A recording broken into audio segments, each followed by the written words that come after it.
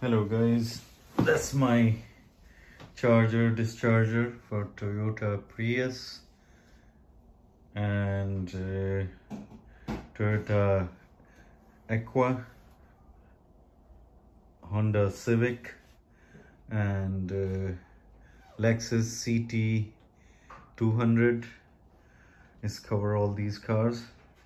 So that'll do charge and discharge as you see at the moment it's charging and this battery. All right. So and the charging time is coming up here in the, the app. If you can see the app if you uh, so it's like like a blind spot. Okay so it's charging from last six minutes seven minutes nearly and uh, if I can stop the charging so you see amps become zero.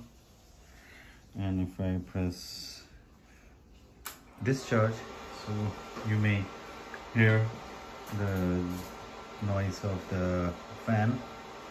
Okay so it's discharging in 1.76 amps. And as uh, at the moment is voltage is reducing from the battery. As you see. So